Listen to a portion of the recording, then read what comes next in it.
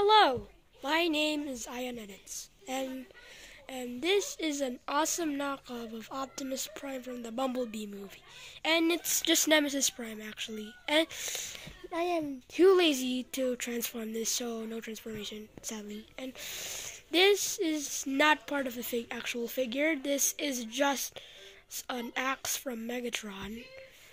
And this, and the head sculpt looks pretty awesome, and and the design looks fairly well. The paint job is really awesome. I I got this for my birthday when I was nine.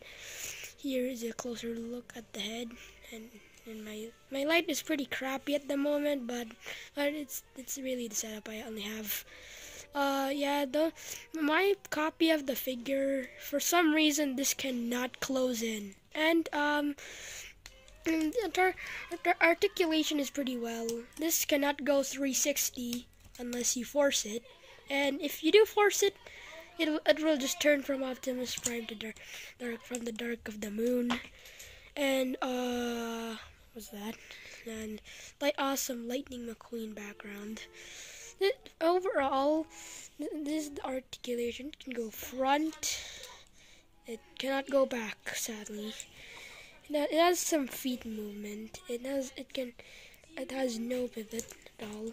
And uh, for some reason the bits on the this back is super loose, like it cannot hold in.